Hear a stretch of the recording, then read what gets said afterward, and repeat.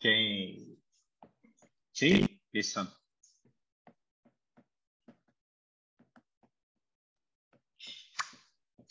Hmm, you understand the question.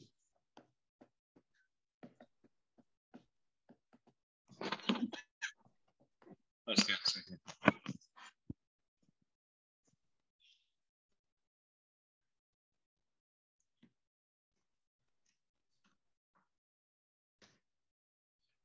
No, no. Oh wait, I'm reading it.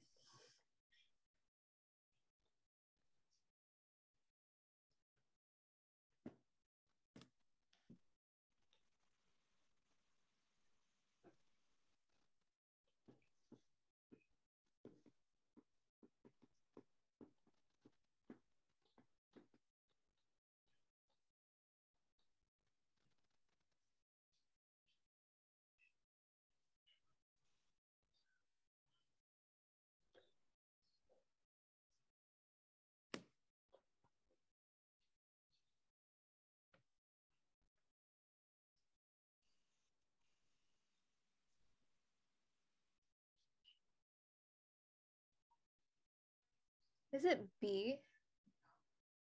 No. Mm, yeah, correct. But you don't understand. Because the area is representing displacement, right? So if Yeah. the areas are the same, the amount of displacement is the same. I want you to label the point P, Q, R, S, T, U, V, W. Yeah, the object, you have an object, and you have the ball. The ball is bouncing on the floor, correct? Mm-hmm. Please draw the point where is P. Okay. Where is P, Q, R, S, T, U, V, W.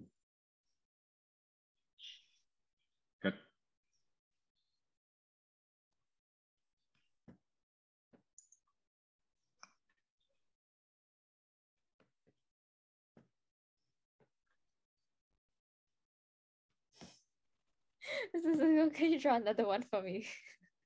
Why? why? I can't draw it. Draw what? Uh, this springy thing. Okay, okay, okay.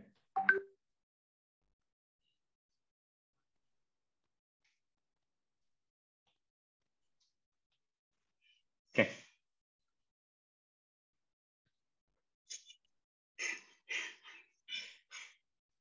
Okay.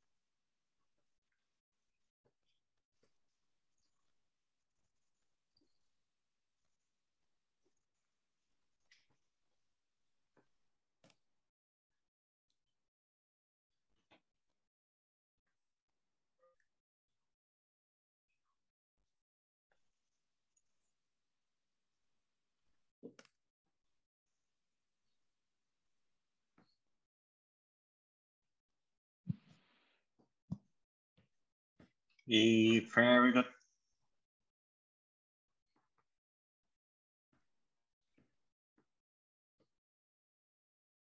Okay. Oh, okay. Yeah, very good. Q is slightly before the impact. R is slightly after. Mm. Correct. T is slightly before. U is slightly after. W is slightly before the impact. Yes? Mm. Wait, I thought I thought S was here. S is the highest point. Wait, ah. Second between Q and S, the time, the difference in time is very small.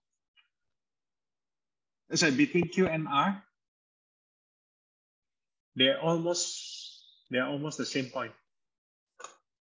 Oh. Yeah.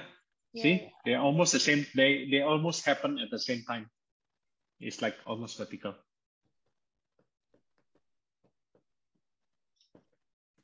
Wait, but why Yeah, does Q drop to R? Q Oh, Q drop to R because this one they take positive downwards. So Q is still downwards, R is upwards. oh, that's why the the graph doesn't go up as high anymore because the velocity decreases Yes. when it hits the surface. Yeah, they lost some kinetic energy. Yeah. They lost a little bit of kinetic energy. Yes. Mhm. Mhm. So like that. Mm. Yes. So that's the explanation. So T and yeah, T and U is almost the same time. Almost just Mhm. see. We spend a lot of time, but it's okay. Yeah, you understand.